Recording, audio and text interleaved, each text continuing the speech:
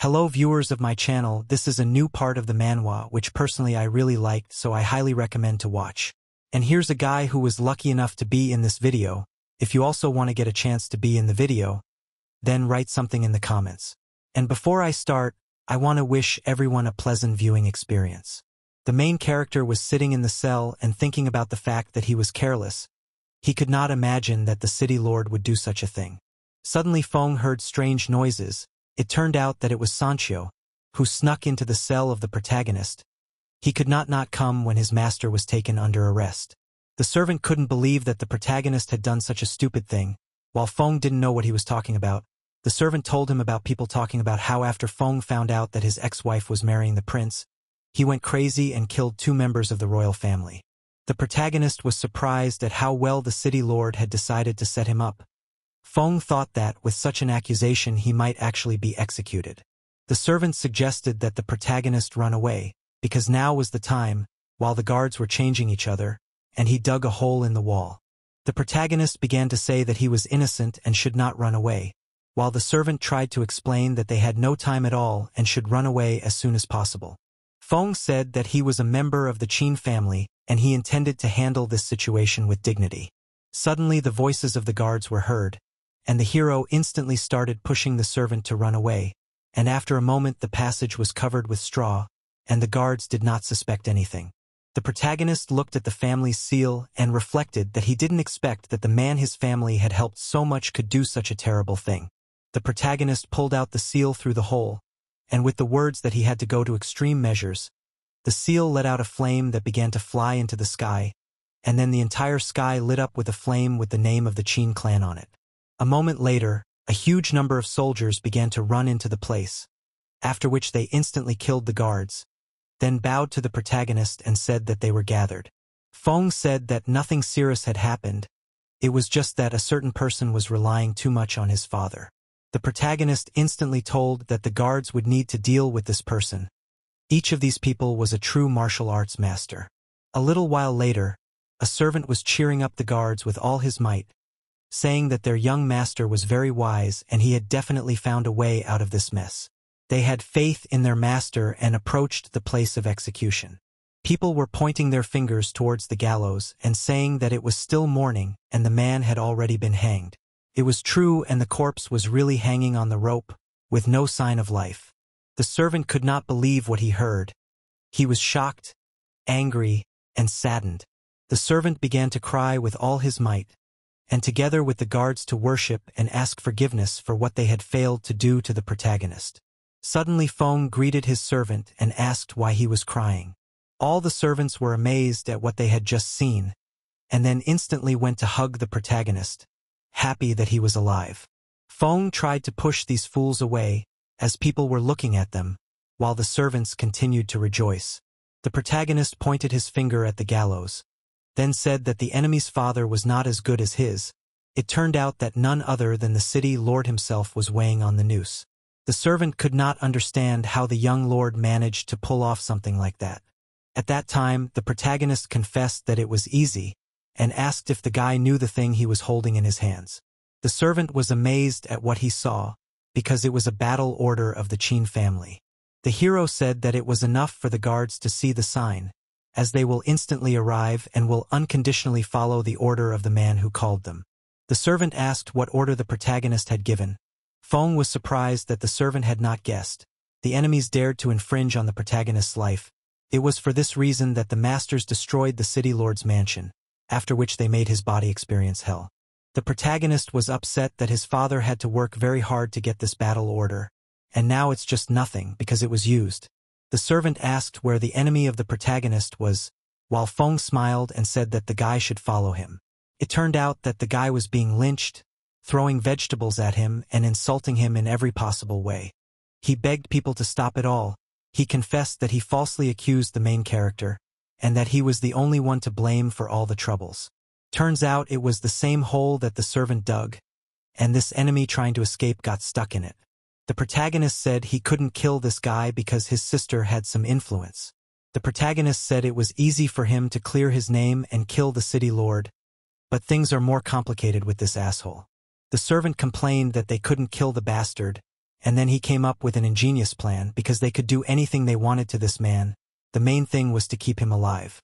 The protagonist was surprised because it began to seem to him that his subordinates sometimes surpass him in cruelty. The servants were preparing to teach the boy a lesson that he would not forget for the rest of his life. He, on the other hand, was incredibly frightened and was afraid to say a word. A moment later, a very loud cry of the boy was heard all around, begging not to be touched. The protagonist and his servants decided to leave the guy behind, as the protagonist had the next plan that he intended to execute. While the guy was incredibly beaten up and talking about how evil people are, sometime late at night he felt just awful. Suddenly the guy saw the main Qin security team and thought that they had arrived to finally free him, but in fact a formidable man grabbed an axe, then swung it with all his might, then pointed it at the guy who begged for his life, promising that he would do whatever they asked him to do. As it turned out that the man had used the axe to free him, a young man's voice was heard telling Lin not to worry, for they were his own. He said that he was a relative of the prince, and since the guy's sister was engaged to the prince, he was ordered to take the guy to the capital. The guy started laughing and was very happy, because he really started to believe that he would die in this place because of the main character. The guy with a crazy look began to rub this man that he wants revenge on the protagonist, and that otherwise he will not go anywhere. The young man explained that he was ordered to get the guy to the capital, and asked him not to complicate the process. The boy began to say that if the man could help him, he would ask his sister to tell the prince about his merits, and promised to give half of the proceeds of the mine to this man. After these words, the man confessed that such a request would be very hard to refuse. He ordered the two masters who were at the third level of the quenching stage to move out. At that time, the guy was incredibly happy, because he was sure that the protagonist would not be able to deal with such masters in any way. At that time of night in the Qin family's medical garden, the protagonist was lying tied up, and next to him slept a girl who was pushing him very hard. The protagonist did not understand how this could happen, and then he became confused and remembered that it happened a few hours ago. He told the servants that he was going to go to the misty forest. They thought that the protagonist was going to die. The protagonist made a puppet that watered the plants while the servant appeared out of nowhere and began to tell them that the misty forest held great terrors. He said that in addition to the poisonous fog, there are many strong monsters, and in order to take even a small part of the Forest Qin family had to sacrifice hundreds of warriors. The servants said that they would not let the protagonist go anywhere, then grabbed the rope. In the present, the protagonist was happy about the environment he was in. He had forgotten that, in this era, people were afraid of the misty forest. Suddenly, the protagonist heard a noise outside, and then he instantly activated his divine sense. It turned out to be the same masters who came to kill the protagonist. They knocked out the guards and said that they need to kill only the protagonist, that God forbid the investigation did not start. The protagonist began to get rid of the rope, thinking that one master of the level of these guys can easily kill ten masters of chi and blood. The protagonist began to walk out pretending not to notice anything, thinking that there was no way he could fight in this place. People looked towards the protagonist, assuming that this was their target. Then the huge man decided to start and was instantly behind the protagonist's back, ready to finish the battle in an instant. A moment later, the axe went through the neck of the protagonist, and his head flew off to the side. The guy was surprised that this order was so easy. He reached out to pick up the protagonist's head as proof, but suddenly his face twisted as it turned out to be a dummy. They realized that the protagonist had managed to escape as quickly as possible. The protagonist took out the Tianluo fruit, then sat on his horse and started talking about how he didn't plan to die that night. The guys couldn't believe that the guy deceived them so easily, while the hero started to move at a great speed with the help of the horse. Thinking about the safety of his people he planned to take the enemies as far away as possible. At that time, the enemies thought that the hero was a brainless fool, for instead of calling the guards, he started to run away alone. A moment later, the masters at great speed began to catch up with the protagonist, who was ready for such an outcome and sprayed some liquid in the air, after which it hit the faces of two enemies who were chasing him. The opponents could not navigate properly. Even opening their eyes caused difficulty. The protagonist was very glad that his opponents were so stupid, because he could not believe that they would fall for his tricks. And then the hero used a divine sense, thanks to which he could see at night as if it were daytime and easily move on horseback. One of the enemies was right in front of the protagonist, after which the guys instantly attacked the guy from above. A few moments later, there was a huge explosion from those blows. The protagonist was able to bounce at the last moment, while not understanding how such a thing was possible. He didn't understand how enemies without sight could catch up to him and attack him effectively. The enemy pointed to a horse and said it was a guy, while another man said it was a horse. Suddenly, the protagonist realized that now his enemies are hunters, who are hunting him by scent. One of the enemies pointed in the direction of the hero and said that he was definitely there, after which the enemies instantly began to run after the protagonist, who began to tear his clothes in hopes of spreading his scent around, thus winning the opportunity to escape from these enemies. The enemy was not surprised by the protagonist's attempts to spread his scent to confuse the guys. Suddenly they found themselves on a cliff, and in front of them there was only a misty forest, in which it is definitely not possible to survive. The protagonist was surprised that he turned on the road that led him to the misty forest. Enemies started to say that the guy would definitely not have the courage to jump into this forest. The enemy began to say that if the hero stayed he would at least die without suffering, while the guy crushed one of the fruits, and with a mad expression on his face said that he had huge balls. With these words he began to fall at a great speed straight into the misty forest. He gave his enemies the middle finger saying that he would never give up so easily. The enemies were amazed that the guy actually dared to jump down while the protagonist was flying straight into the misty forest at a great speed. The enemies were saying that the guy would definitely die instantly in that place. They were going to wait for the fog to clear up a bit and take the hero's head as proof of his death. The enemies were laughing at the top of their voices because of the fact that this guy would die so easily because of the fog. While the protagonist was glowing with happiness, he was glad to be in this place. In this place, he saw a huge amount of medicinal plants that were very old. The protagonist drank an antidote beforehand, for he knew very well that this place had a deadly fog. The protagonist looked at his hand and realized that he didn't have much time. He was going to prepare some remedy from the local herbs. He was glowing with happiness because now he would be working with high-quality herbs. Two hours later, the protagonist was working with the herbs and heard a strange noise nearby. The protagonist was amazed that it was a raccoon dog, which is incredibly hard to catch. He assumed it was the effect of his anti-animal pill. Suddenly, the hero's attention was attracted by something strange. He began to laugh, because in his head came an ingenious plan to deal with his enemies. Early in the morning, when the fog cleared, the enemies arrived in the forest to find the corpse of the protagonist. They searched for the body of the guy, as they thought that he died instantly, a moment later they found the corpse of the hero and believed that he was suffering before death from poison. The man prepared to chop off the protagonist's head, but suddenly the guy jumped up and launched some darts towards the enemies. They were able to instantly react and dodge, while marveling that the protagonist managed to survive in this place. The enemies thought that it was a very stupid move on the part of the guy, while the hero with a confident expression said that he would really have a hard time injuring enemies of this level, and then asked what would happen if the blood of a raccoon dog collided with a miasma tree in the sunlight. The enemies, with full confidence that their situation was not the same, said that even masters like them would die from ten breaths. But such an animal was incredibly hard to find. At that time, the protagonists started counting down from ten. Suddenly, the enemies noticed the fog and didn't realize what was happening. They looked in the direction where the needles hit, then instantly realized that right now they are breathing a poisonous fog that can kill them. The protagonist confessed that he had accidentally found the animal, and instantly realized how it could be put to good use. That was the reason why he risked pretending to be dead, and so that the enemies could not even think of such a thing, he attacked them with darts. The opponents were out of their minds with anger, they were going to take the protagonist with them to the other world. The protagonist was completely confident, and was amazed that they reacted so late. He looked with his piercing gaze and said that it was too late, and a moment later the enemies started coughing up their own blood, after which they lost consciousness and fell to the ground, while the protagonist continued to stand with his head proudly raised. The protagonist's enemies were lying on the ground. They were defeated not by brute force but by the protagonist's mind.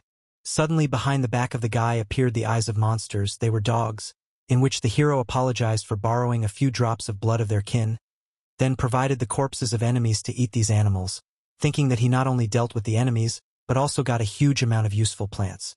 While in the main character's house, the servants could not believe that their lord had been killed. They thought it was complete nonsense. While a man threw the protagonist's item and said that it could serve as proof of his death. It turned out to be the bloody saddle of the protagonist's horse. The enemies said that the young man had been injured, after which he had dared to enter the misty forest, where he had definitely died. The boys could not believe what they heard, for the hero really wanted to go to the misty forest. At that time, the enemy was incredibly happy, saying that the fool dared to venture alone into this hellish place. He said that because of the hero's death, the iron mine should return to its original owner, and the medical garden as well. He ordered the royal guard to chase away the servants of the protagonist. The soldiers pointed their weapons at the poor people, to the bastard's words that he now owns all of the protagonist's property. Suddenly, Feng's voice was heard behind the backs of the enemies, who was surprised that the guy dared to flatter him. The protagonist was surprised that the enemy dared to ask for help from the royal guards, then called him a slippery son of a bitch. The girl instantly hugged the protagonist, because she was very happy to see him, and he confessed that he decided to take a night walk in the misty forest. At that time, the enemy with shaking hands could not believe that the protagonist had survived after being in the misty forest. The protagonist said that he just decided to take a walk. Why would he die? A man stepped in and said that he was in this place to discuss the rights to the iron mine. The servant at the time realized that this eunuch is now a representative of the royal family, and the protagonist cannot oppose him. At that time, the protagonist said he didn't give a shit who this man represented. The protagonist was outraged saying that he had been spoiled by the insistence to kill, and it didn't matter what family the man was from, he dared to kill him anyway.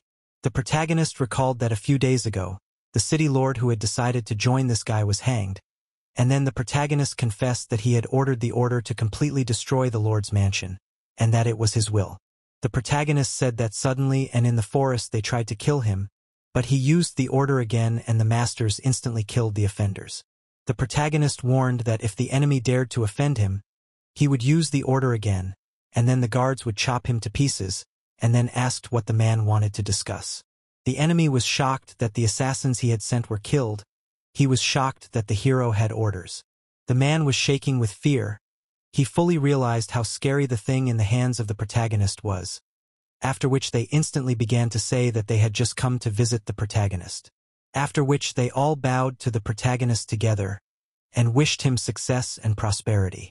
The protagonist said he wouldn't see the guests off because he was a mess, and they apologized for the intrusion and wanted to leave. A moment later, they started running away at great speed in fear of the protagonist. The servant was amazed that the protagonist had several orders, and the hero confessed that it was just a shell casing from a used order, which made the servant praise the protagonist's masterful bluff. The girl asked where the protagonist actually went because she was so worried. He said that he had already told her that he was really in the misty forest where he had managed to get a lot of useful herbs.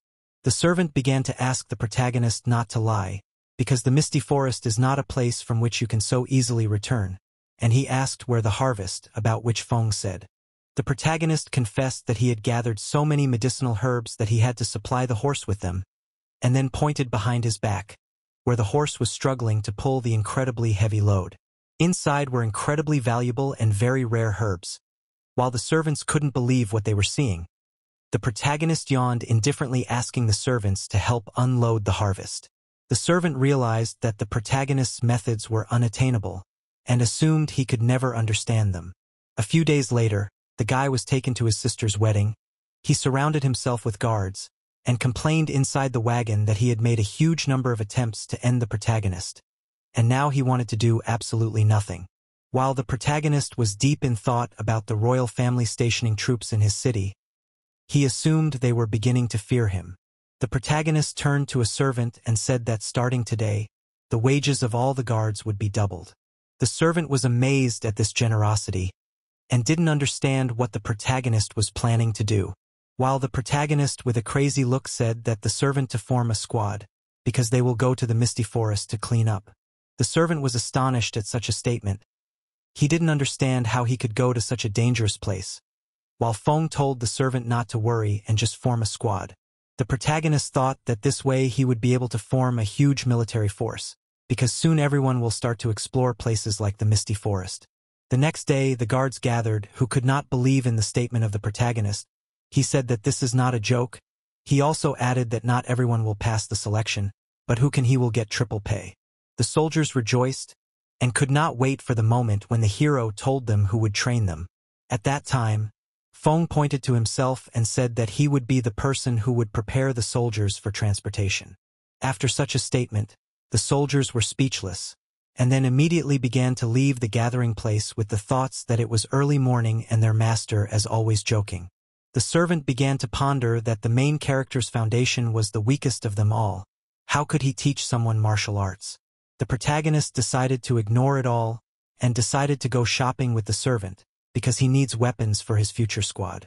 The servant was shocked that the protagonist was only lucky to get out of the misty forest alive, and he already considers himself a genius. At that time, in one of the restaurants, a man told that the hero had only one order, and that he had deceived them. The man instantly became furious at such news, whereupon the mug instantly shattered on the floor. The herbalist was very angry because the man had dared to spill tea on his foot, and he asked the herbalist what he could do about it. The man was incredibly angry, in fact he was angry because of the protagonist because he was the reason for what he decided to authorize. Gorilla with great speed began to approach the man, with the intention of hitting him. The man easily stopped the blow of this gorilla with one of his hands, and then asked how the protagonist messed up the man. The gatherer told him that Feng was a lowlife who had gotten him into trouble. The man told the assembler that they were brothers in misfortune, as he also hated Feng. The man learned about the mysterious alchemy teacher and decided that the situation was now clearer. The gatherer started talking about how the most important thing for an alchemist is herbs, and they need to destroy the main character's garden first. The man said that there was no way he could do something like that because it would start a war between the royal family and the Qin family. The gatherer told of a pill that attracts animals, which could be used to raise the protagonist's garden to the ground. The gatherer confessed that in order to realize this plan, he just needed money. The man was incredibly happy about this opportunity. He confessed that he was ready to spend any amount of money to solve this issue, while the protagonist was busy making pills for the body. Usually, alchemists have a hard time with this process because it is very difficult to create these pills. But the protagonist closed his eyes and then put his hand on the cauldron. He is the god of pills, it is quite easy for him, the quality of the pills was from 1 to 10, and the ones he just made were at 9. The guy threw one of the pills into his mouth. He thought about the fact that it had been a long time since he had made such cheap pills. He also thought that if he wanted to sell the pills he should lower their quality. Unexpectedly, the protagonist was able to break through to the sixth level of the chi and blood stage. The effect of the pill was amazing. The protagonist took out the next pill, which should have a positive effect on his body, because growing too fast was dangerous. The guy with a smile on his face grabbed this pill with his teeth. The protagonist was determined to become the best. He thought about being the first to start the battle for the Misty Forest. At that time, the girl was watching the protagonist's room and wondering if he was able to overcome the foundation of his cultivation. The girl thought about how it was very hard for the protagonist after his injury, and decided that he had decided to try hard to become stronger.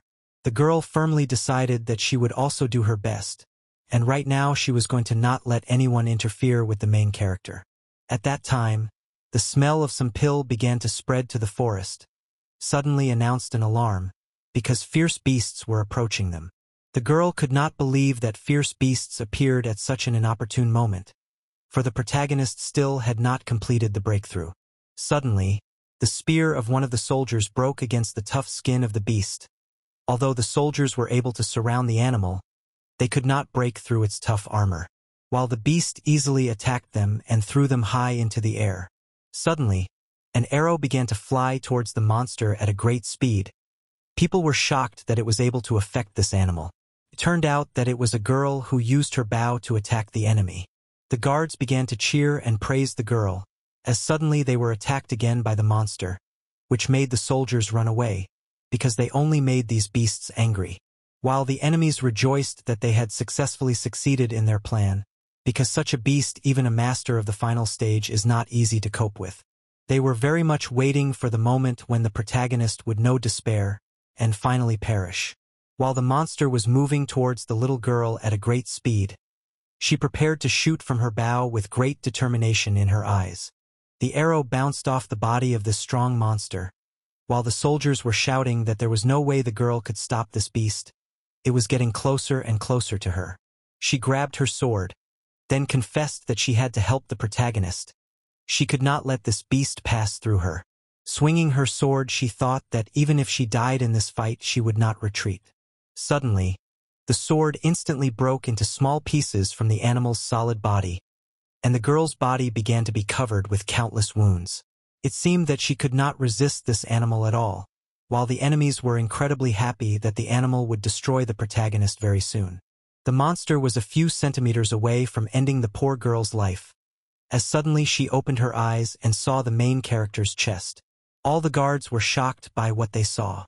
The protagonist flying to the ground said that anyone who infringed on the lives of his people deserved to die. The guy landed on the roof after he found out that the girl was okay. He asked her to leave the battlefield and leave everything to him. The girl began to say that the protagonist could not defeat such a monster, because it was on a completely different level. While Feng was completely confident, and began to say that he would not allow any animal to do whatever he wanted. While the enemies mocked the protagonist, because in their opinion he didn't even stand a chance against this animal. The monster pointed its horns in the direction of the protagonist. While the soldiers were worried about their master, the enemies couldn't wait for the denouement of it all. While the protagonist didn't understand why people were panicking so much, he grabbed his dagger and said with a brutal look that he would just blow up the monster. After that, the hero instantly used the moonlight technique, thus attacking the enemy. The dagger pierced through the thick skin of the beast, which stunned the opponents, and the allies were shocked by the demonstrated strength, while the girl was delighted by the protagonist.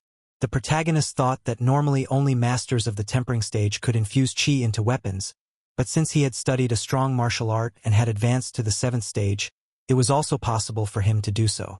In his previous life, the protagonist was familiar with countless martial techniques even though he couldn't use them, but things were completely different in this life.